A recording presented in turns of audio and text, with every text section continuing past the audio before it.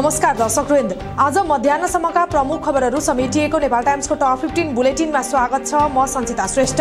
सुरु गरौँ अहिलेसम्मका प्रमुख खबरहरू। चितवनमा किसानले सडकमा तरकारी फालेको विषयबारे प्रधानमन्त्री पुष्पकमल दाहाल प्रचण्डले गराए कृषि तथा पशुपक्षी विकास मन्त्रालयको ध्यानकर्षण। किसानको माग सम्बोधनका लागि आवश्यक पहल गर्न कृषि मन्त्री ज्वाला कुमारीलाई प्रचण्डको निर्देशन। प्रधानमन्त्री पुष्पकमल दाहाल प्रचण्ड र एमाले अध्यक्ष केपी शर्मा ओलीबीच शनिबार बालवाटारमा भेटवार्ता भेटमा गृह मन्त्रालय राष्ट्रपति चुनाव लगायतका विषयमा छलफल भएको प्रधानमन्त्रीको सचिवालयको जानकारी। प्रमुख प्रतिपक्षी दल नेपाली काङ्ग्रेसको आह्वानमा सिंहदरबारमा विपक्षी दलहरूको बैठक जारी। काङ्ग्रेस सहित नेकपा एस लोसपा जनमोर्चाका नेताहरू सहभागी बैठकमा पछिल्लो राजनीतिक घटनाक्रमबारे छलफल हुँदै काङ्ग्रेस सहितका प्रतिपक्षी दलहरूले राष्ट्रिय सभा उपाध्यक्षको उम्मेद्वारको टुङ्गो भोलि लगाउने आज प्रारम्भिक छलफल गरेर भोलि बिहान उम्मेद्वार टुङ्गो लगाउने काङ्ग्रेस संसदीय दलका प्रमुख सचेतक रमेश लेखकको भनाई। नेकपा एकीकृत समाजवादीको केन्द्रीय कमिटिको बैठक आज बस्दै बैठकमा अध्यक्ष नेपालले प्रस्तुत गर्ने राजनीतिक प्रतिवेदन र महासचिव डाक्टर बेदुराम भूषालले प्रस्तुत गर्ने साङ्गठनिक प्रतिवेदनमा छलफल हुने।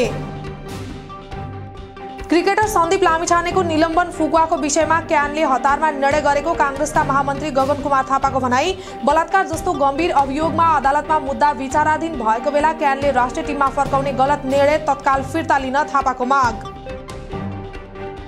लुम्बिनी प्रदेशसभाको छैठौँ स्थापना दिवस आज राप्ती उपत्यका देउखुरी प्रदेशसभा परिसरमा औपचारिक समारोहका बीच कार्यक्रम गरी मनाइँदै दुई हजार चौहत्तर साल माघ एक्काइस गते प्रदेशसभाको पहिलो बैठक बसेकै दिनलाई हरेक वर्ष स्थापना दिवसका रूपमा मनाउने चलन।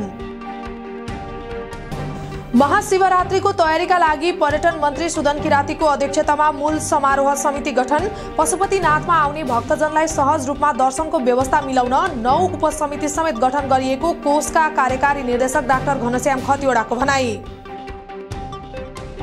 आगामी माघ तेइस गते हुने राष्ट्रिय सभा उपाध्यक्षमा आफ्नो पार्टीले दावी नगर्ने एकीकृत समाजवादीका अध्यक्ष माधव कुमार नेपालको भनाई।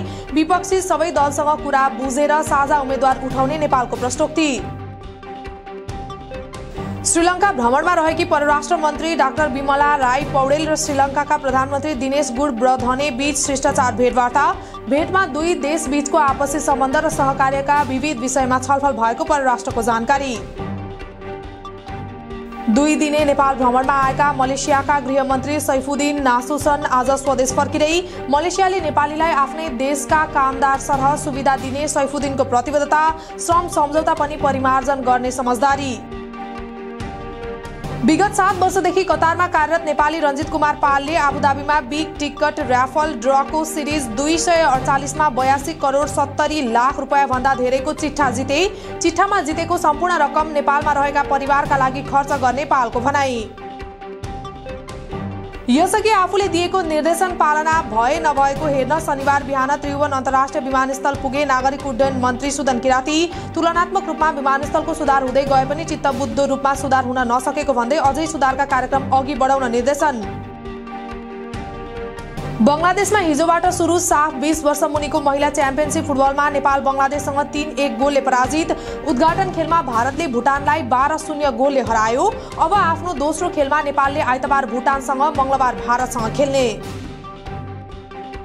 र संयुक्त राज्य अमेरिकामा बेरोजगारी दर पाँच वर्ष यताकै न्यून। जनवरीमा पाँच लाख सत्र हजार रोजगारी थपिएपछि रोजगारीको दर तिन दशमलव चार प्रतिशतमा झर्यो अवकाश र आतिथ्य आपूर्ति तथा व्यावसायिक सेवा र स्वास्थ्य सेवामा भएको वृद्धिका कारण रोजगारीको वृद्धि व्यापक भएको अमेरिकी श्रम विभागको भनाई।